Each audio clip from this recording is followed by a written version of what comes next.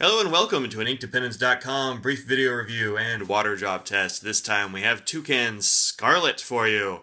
Uh, where's the camera? There it is. So this comes in uh, little vials if you uh, get a sample. If you get a full size, they come in these crazy, uh, I don't know, plastic bags, which is kind of fun. They're tough. They're not going to like blow up. It's not like a Ziploc bag. They're kind of like, um, oh, what do they call those things? Platypus bags when I used to do a lot of hiking.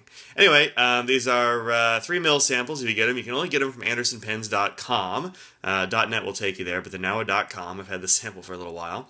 And uh, they're really good inks for the most part. You'll, you can find the rest of my reviews on the interwebs. Uh, they're all mixing inks, so you can mix them one with another. So if these colors aren't perfect for you, then just fix them. Alter them with another uh, toucan ink. Anyway, um, this Australian brand is one that I've been doing a lot of reviews on because uh, the Anderson sent me the whole set. Thank you very much, Brian and Lisa. One of these days I will be done with it. I've almost, I think I've done almost every one of them or at least written them all out. I've got them, uh, you know, they're coming up soon. All right, anywho, here is Scarlet. Scarlet is uh, a better red, I think, than the Crimson. I didn't love the Toucan Crimson. For whatever reason, it just wasn't the right, it wasn't right for me. Um, Scarlet's a lot better. It's definitely the better red of the group.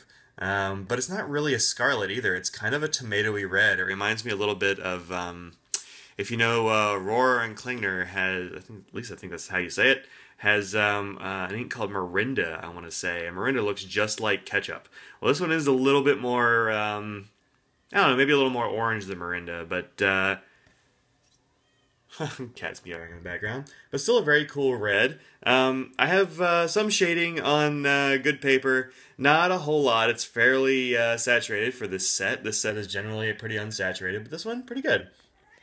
Not the darkest ink, of course. It's not super saturated or anything, but it's pretty good. I, uh, I've been using it to grade papers with and such, and it's worked out very well. It definitely works uh, pretty well on uh, regular old copy papers and crap that students use. You can see here uh, in the description bit, I was actually running out of ink. I, uh, I've only got this much left of that 3 mil sample, which is, I don't know, maybe I've got a mil left. Uh, I just kept refilling this uh, Metropolitan with this ink. I kind of like it. Here it is next to a couple of other inks that are uh, much more red. Although, yeah, it is kind of hard to tell right now. The Scarlet seems to have darkened up over time. I know when I put it down originally, it wasn't that red. This is next to Noodler's Nikita and Park. Park is the brand new one, and I think it's better than Nikita. Um, if you're looking for a red ink, the Park is good. Nikita bleeds, uh, is, is the problem with Nikita. Anywho, then I've got Alamos Twilight, which is uh, Texas exclusive from Dromgoole's, uh, which is kind of a real reddish brownish color. And then Gold, which is coming up very soon on the blog, and Aqua and Turquoise also coming up very soon. Alright, let's see how this does with regard to water. None of these have been very water resistant, so I don't expect that here.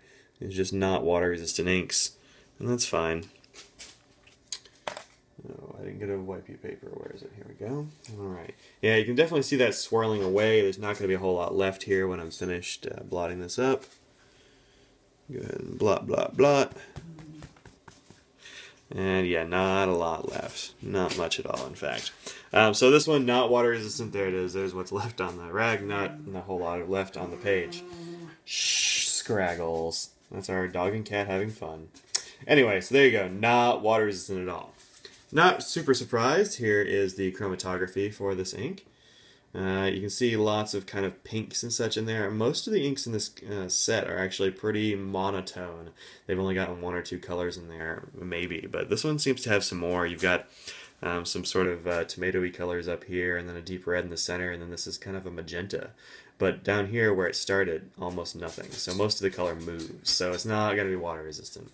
Anywho, there you go. This has been Toucan Scarlet, a fine red ink. Definitely check this one out if you're getting some of these Toucan inks. They're pretty, they're very reasonably priced for what you get.